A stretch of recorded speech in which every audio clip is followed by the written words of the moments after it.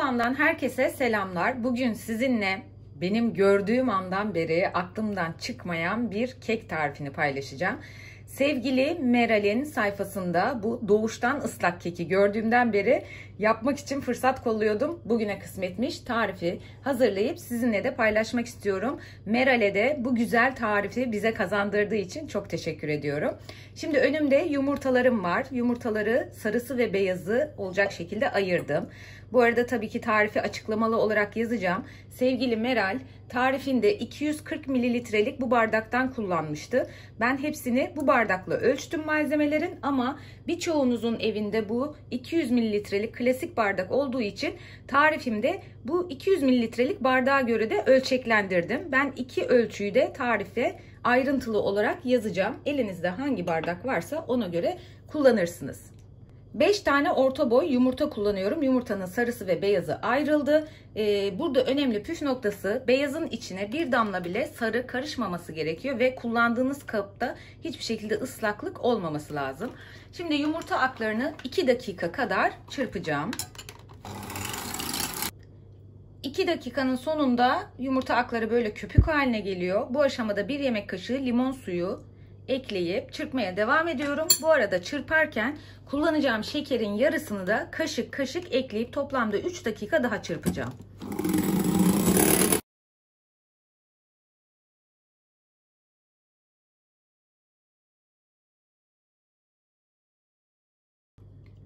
Yumurta aklarını çırpma işlemini bitirdim. Bakın oldukça sert gövdeli yumurta akı elde ettim. Siz de bu sert gövdeye ulaşana kadar çırpın. Bir püf noktası vermek istiyorum.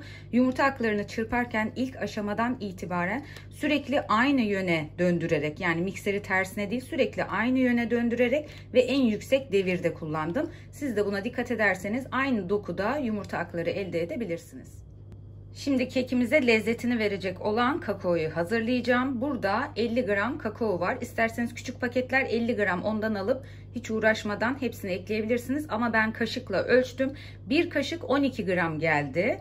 Burada yani 5 kaşığa yakın kakao var.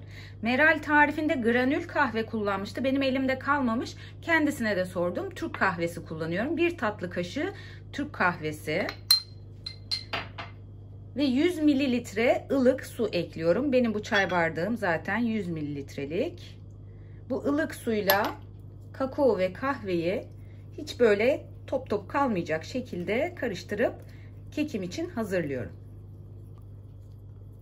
Evet burası da hazır olduğuna göre artık yumurta sarılarına geçebiliriz. Kalan şekerimi yumurta sarısının üzerine ekliyorum ve yine böyle güzel bir krema kıvamı elde edene kadar çırpıyorum. Yumurta sarıları gördüğünüz gibi krema kıvamına geldi. Şimdi bu kakaolu karışımı buraya ekliyorum. 60 mililitre sıvı yağ kullanacağım. Bu da 100 mililitrelik çay bardağıyla yarım çay bardağı oldu. Bunu da buraya alıyorum. Kakaolu karışımı da hazırladım. Şimdi bir süzgeçten geçirerek bir bardak yani 200 mililitrelik bardakla böyle çok hafif eksik 100 gram un 100 gram unu ekliyorum bir çay kaşığı kabartma tozu.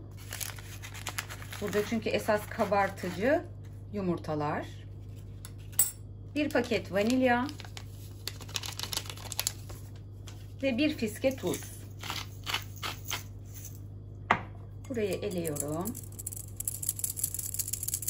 Artık mikser kullanmıyorum. Kuruları bu kakaolu karışıma yedirdikten sonra da yumurta aklarını eklemeye başlayacağım. Spatula ile katlaya katlaya bu kuru olan malzemeleri kakaolu karışıma yediriyorum.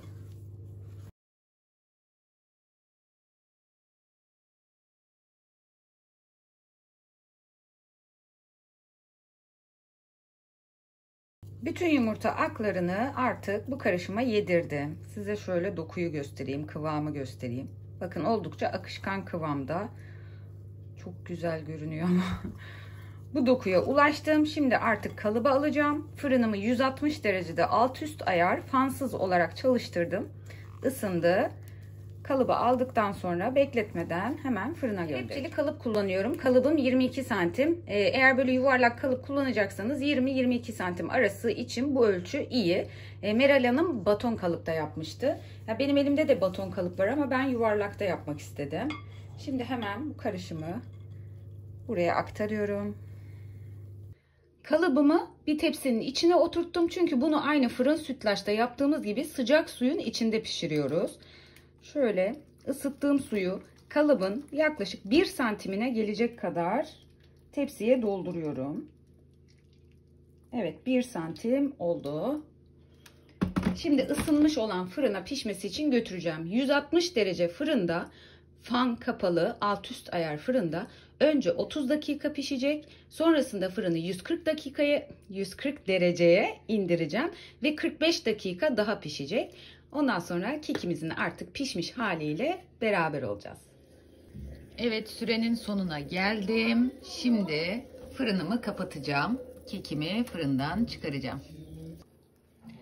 Kekimi tepsiden çıkarttım. Şöyle tezgahın üstüne aldım ama kalıptan çıkarmıyorum. İyice ılık bir vaziyete gelene kadar bu şekilde kendi halinde soğuyacak.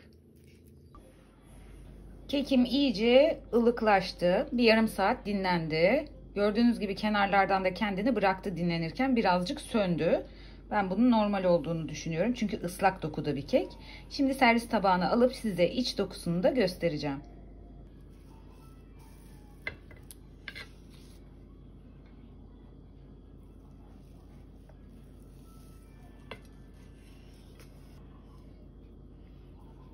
Şimdi ters ışıkta kaldığım için buradan çok iyi gösteremiyorum ama tabağa alıp yakından size dokusunu göstereceğim.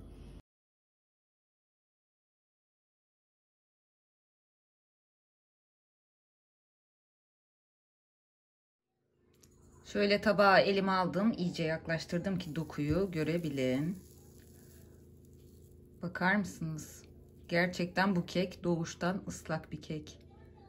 Şöyle iyice yakınlaştırıyorum ve hemen tabii ki tadına bakıyorum.